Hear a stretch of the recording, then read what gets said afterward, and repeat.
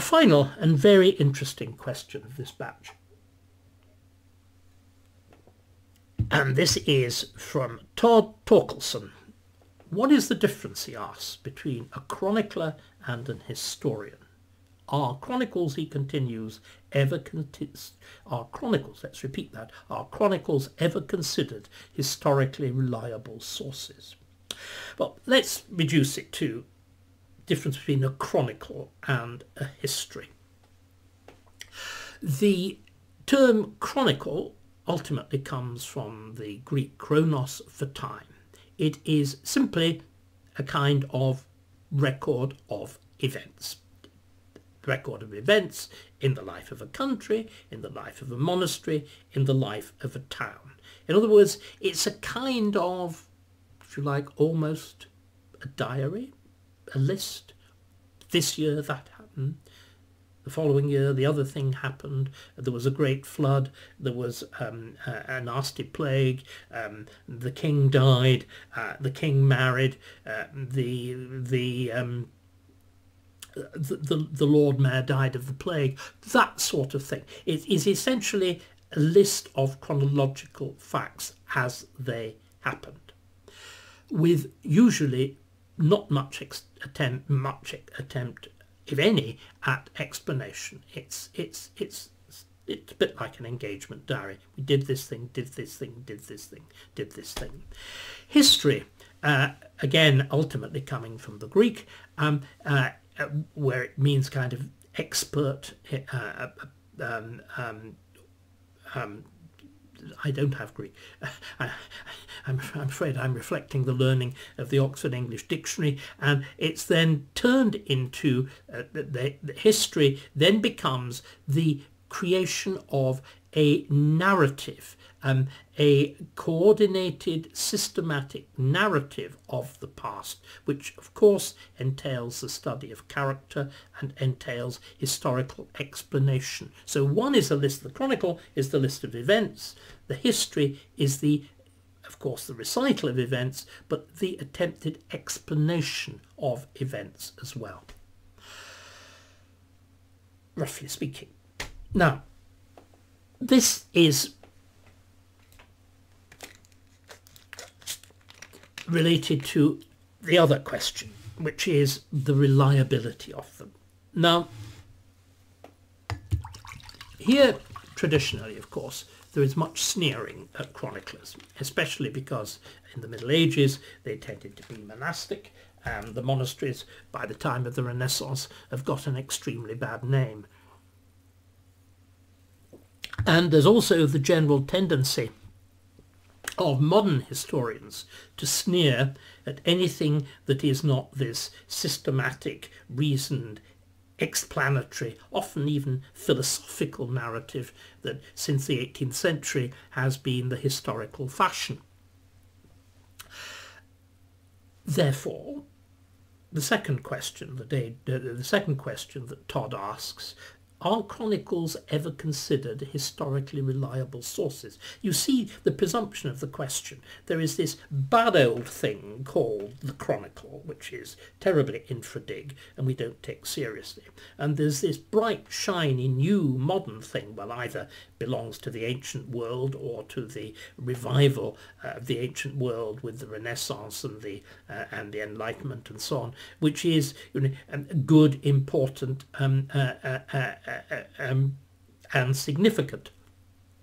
It's very similar, actually, to the denigration in the modern teaching of history of factual knowledge. You know, who cares about fact? You can look it up on Wikipedia. All you want are skills, analytical skills. That's a subject of another uh, another disquisition and I'm afraid not very temperate video. Uh, how on earth can you think about something if you actually don't have the facts at your fingertips? The reason that I can do these things is because I remember, because I have the information and therefore, and only because I've got the information, I can organize it, I can analyze it, I can reach for examples across periods of time, I can show how things connect and how one thing becomes the other. But to go back to the point, what you're presuming, Todd, is that there is a good source, there are sources that are good and that the historian, as it were, recognizes as reliable. The history, and there are bad things called chronicles, which the historian is doubtful about. See, I, this was the approach to history of my own great teacher of Geoffrey Elton. Geoffrey, um, in one famous article, categorise sources in terms of their intrinsic liability. He puts at the very top uh, things like administrative documents and so on, and at the very bottom he puts things like diplomatic reports, uh, which he sees as being inherently flawed. Actually, of course, I was able to demonstrate that very often administrative documents contain utterly deliberate lies.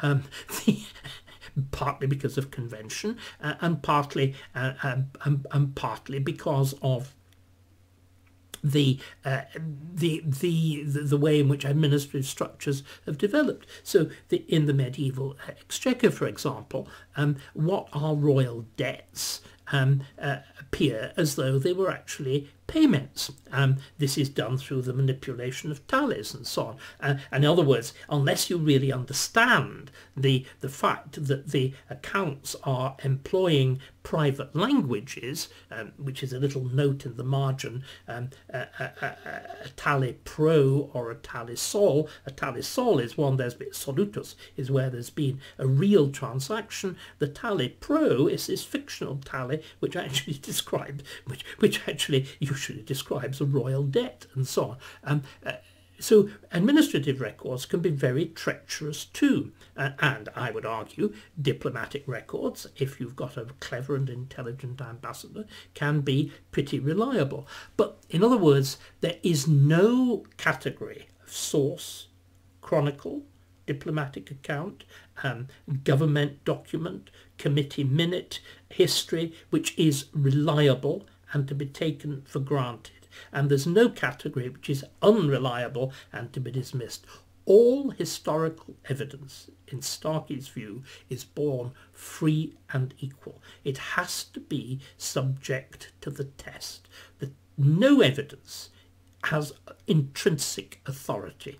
It has to be tested against other evidence, against plausibility, against the values of the time, and so on and so on. And the irony is, I would say, therefore, that very often the bare chronicle, because it is without aspirations to uh, explanation, it is merely statement of this happened and that happened, is very often very good historical evidence. Whereas the sophisticated history in which especially the contemporary historian imports his own values, his own party affiliations, his own preferences, his own loves and hatreds, you know, things like um, Clarendon's account of the Civil War and so on, the, the, the, the, the great Roman histories and so on, uh, Thomas More's history of Richard III. Um, these are very often profoundly suspect documents precisely because they have so much of the historian and his generally is his his specific views in them therefore they need serious they don't need dismissing. I mean, on the contrary, um, I by and large accept, I mean, we're talking about Thomas More, I by and large accept uh, More's account. Um, but, but you need to apply exactly the same critical text tests to them, however elegant and sophisticated they are.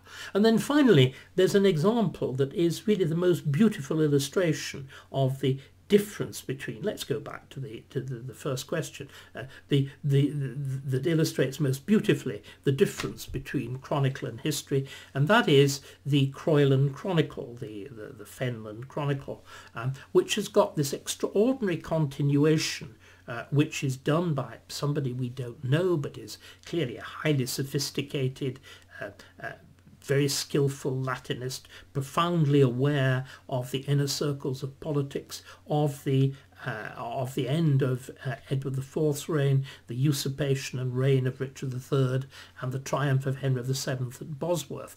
And the surrounding chronicle is exactly what we describe, and it's actually rather a bad example.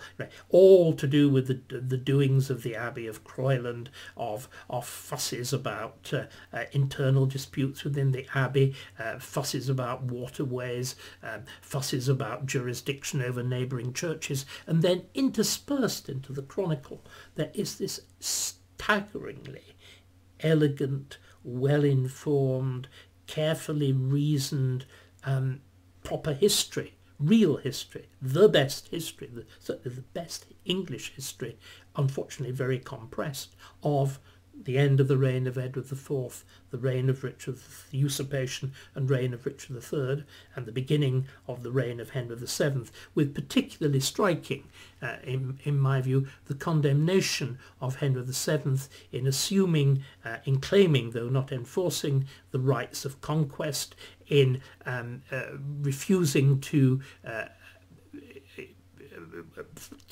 to begin marrying, uh, to begin by marrying Elizabeth of York uh, and therefore preserving a dynastic continuity, so much determined to claim the crown in his own right and purely in his own person. And it's a very, it's a very, I mean, it's the it's the account certainly of the um, the end of Richard's reign and the beginning of Henry VII's reign that I think is by far the most interesting, the most important, and forces one to rethink right from the beginning um, what Henry VII was trying to do and what his models um, of, of kingship were. And they show right at the beginning that he was aiming for but of course the whole reign comes full circle round to, something much more like the absolutist style of the French monarchy. I think it's after all, he'd been brought up in France and Brittany. That was the sort of kingship that he was used to, and that was how he understood things. And he didn't really understand at that stage England at all, and had had no adult experience of it whatever. So again, the that lovely juxtaposition there uh, in the con- continuation of the Croyland Chronicle of the chronicle type on the one hand, a rather bad example of it, and a sensationally good example of history. Hello, and thank you for watching David Starkey Talks. If, as I very much hope, you're enjoying them, why not become more actively involved and join my members club? As a member, you'll be able to take part in the members-only weekly question and answer session, suggest topics for forthcoming videos and have priority booking for my forthcoming live events. And while you're at it, why not have a look at the store page on my website davidstarkey.com. There you can purchase t-shirts and other merchandise, buy signed copies of my books, and, if you're feeling brave and a bit flush, even arrange to take me out to lunch. Thank you once again for watching. I look forward to hearing from you and to welcoming you to my members club.